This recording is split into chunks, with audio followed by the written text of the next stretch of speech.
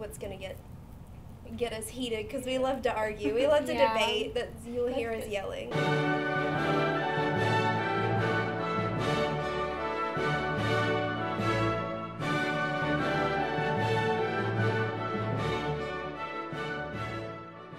radio. So, um, what inspired you guys to start this radio show? Um, well, we just saw the College of Charleston's CisternYard Radio at one of the fairs and um, thought it would be really cool. There's a lot of good opportunities for you when you join that organization. You can go to different shows and Mhm. concerts and things like that. And so, just when we come up with our idea, we were thinking of something that everybody could kind of be into, but at the same time, we can make really personal by picking movies that we like and soundtracks that um, maybe you guys haven't heard before.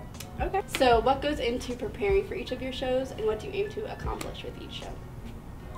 Um, so really, we just have to go. We made like kind of like a big database list of movies that we really like um, that have really great soundtracks, and then we just kind of go back through them and we think, what kind of mood are we in? What do we want to do the next um, week? And then uh, we pick the movie, and then we just go through, pick our favorite songs, and get a list together.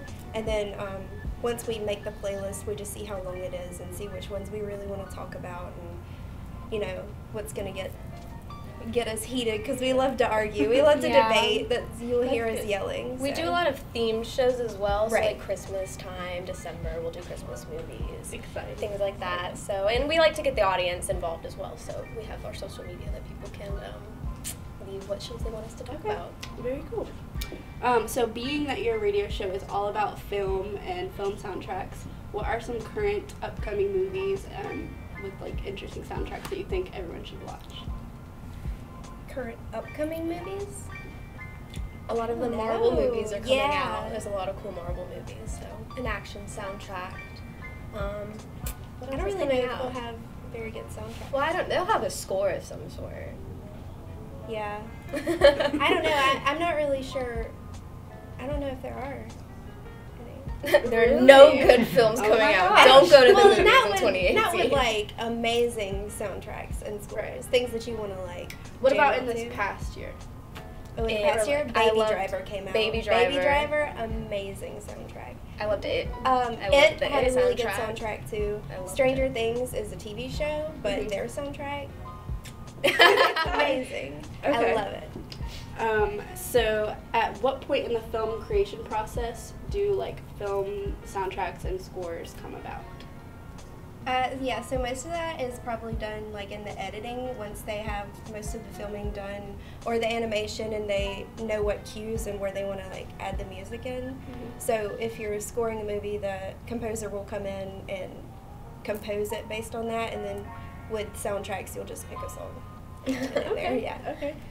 Um, and can you tell us the difference kind of between a film score and a film soundtrack? Yeah, film scores are originally composed music, normally instrumentals. So like Hans Zimmer, a lot of like action movies and stuff.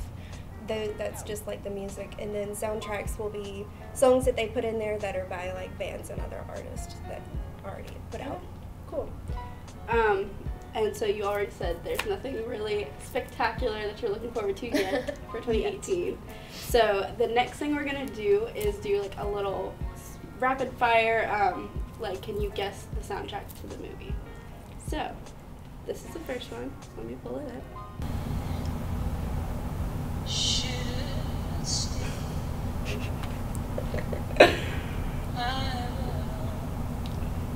What movie is this song from? Yeah, Yeah. it's the bodyguard. Okay. Good job. First one down. The next song. Let me see.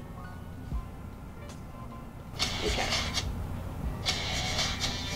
Oh, that's Twilight. Twilight. You Yeah, guys. it's oh, we just Okay. did a Twilight. we just did a show, Twilight. so okay. we know all that. All right. Next song.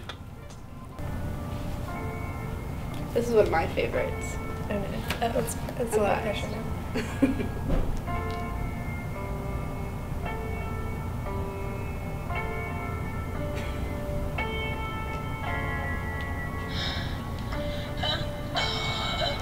Fifty Shades. Yes, yes, yes. Okay.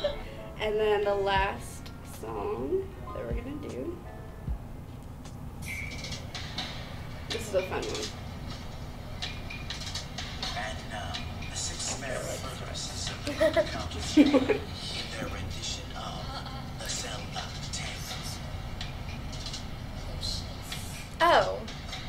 Chicago. Yes, yes, yes. Okay. So you guys are pretty good at that. Thanks. Between the two of us. All right. So the last thing that we're gonna do is a series of rapid fire questions. Um, so just pick a favorite. I'm gonna give you two options, and you have to pick a favorite quick as you can. okay, we have Okay. to be in sync. Wait. All right. We have, We're never we in have to sync be in for sync. anything. Okay. All right. Are you ready? Yes. Will Ferrell or Adam Sandler? Will Ferrell. Or I don't like either one of them. um, yeah. Okay. The Notebook or the Titanic? Titanic. Notebook. All right. Um, Hitchcock or Spielberg? Spielberg. Hitchcock. Okay. Really not in sync. All right. Um, Netflix or theater? Netflix. Netflix. Okay. Uh, fantasy or mystery? Mystery. Fantasy. Okay. Horror or comedy? Horror. Horror.